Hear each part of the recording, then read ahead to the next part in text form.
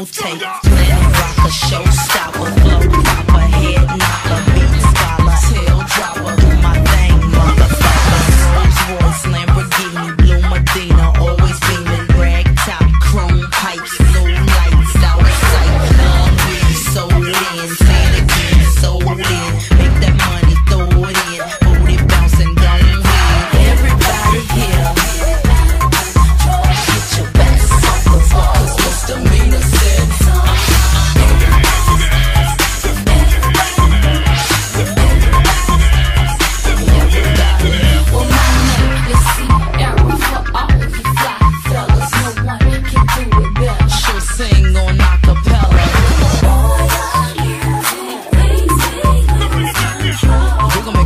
control and let it go, for you know you won't hit the flow.